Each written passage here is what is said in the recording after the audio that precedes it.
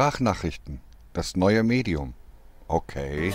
Ich schenke euch ein neues Herz und lege einen neuen Geist in euch. Leben, lieben, so viel mehr. Hey ho, hier also eine neue Sprachnachricht von mir. Ich schenke euch ein neues Herz und lege einen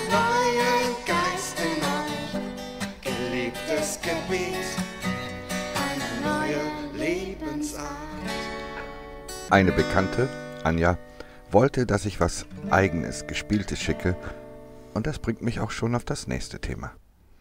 Mein Konzertausrichter kam nachher zu mir, nachdem ich mein erstes Konzert vor großem Publikum 1994 in einer Großstadt gegeben hatte. Auf jeden Fall wollte er mich vermarkten und einen Tonträger herstellen.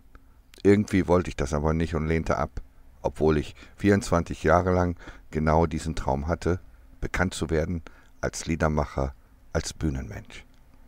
Genau bei diesem Konzert war auch meine damalige noch nicht Frau. Sie sagte anderen und mir später, hätte man dich früher gefördert, wärst du heute ein studierter Musiker, ein Musiktherapeut. Bis heute fühle ich mich sehr behütet, nicht in das Musikgeschäft eingestiegen zu sein. Warum?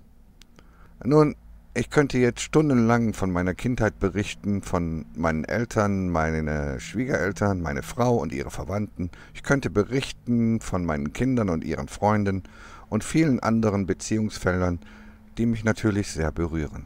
Das könnte ich als Grund angeben, aber das wäre natürlich nur eine eingeschränkte Logik. Nein, es geht zuerst um was anderes, was mich extrem glücklich macht und gleichzeitig tief traurig macht, ist, wenn meine Mitmenschen leiden. Da habe ich bisher keine Macht zu helfen. Ihr Schmerz und meine Unfähigkeit, ihnen zu helfen, macht mich voller trauriger Mitleiden. Und das andere, es ist bei mir so, dass ich bejahend einverstanden bin mit dem, wie ich innerlich und äußerlich bin.